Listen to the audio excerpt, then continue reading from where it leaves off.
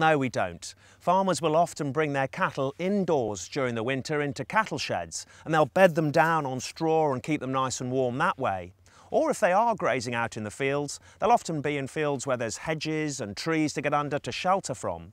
But cows have got very thick skin in comparison to us, and they've got hairy bodies, so they don't feel the cold like we do.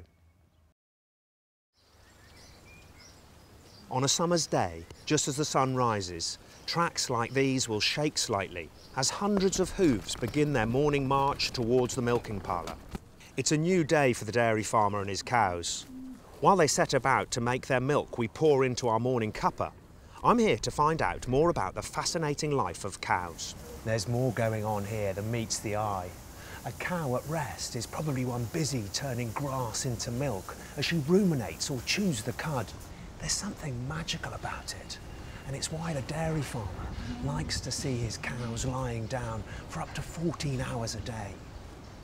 There are plenty of rural myths surrounding cows, and one of the most common is whether they sleep standing up. It's not hard to see where that came from. Cows often stand quite still in the field, chewing the cud slowly, with their eyes partly closed. But don't let them fool you.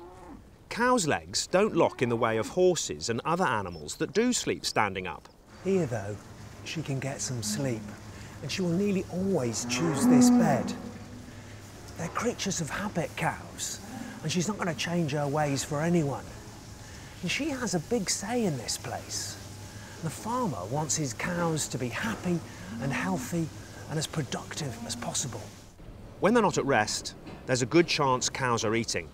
Cows eat up to 50 kilos of feed a day, and she can spend up to half an hour drinking up to a bathtub of water.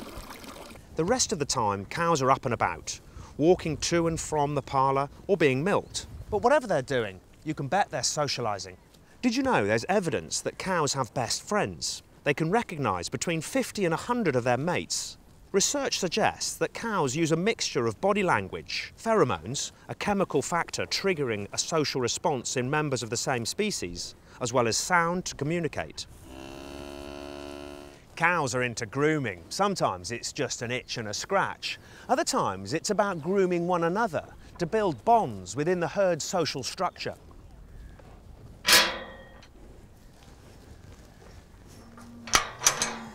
The farmer works hard to keep the harmony in the herd, to keep the cows happy, healthy and productive. And it's the fruits of that labour that ends up in our kitchens. Get involved on thisisdairyfarming.com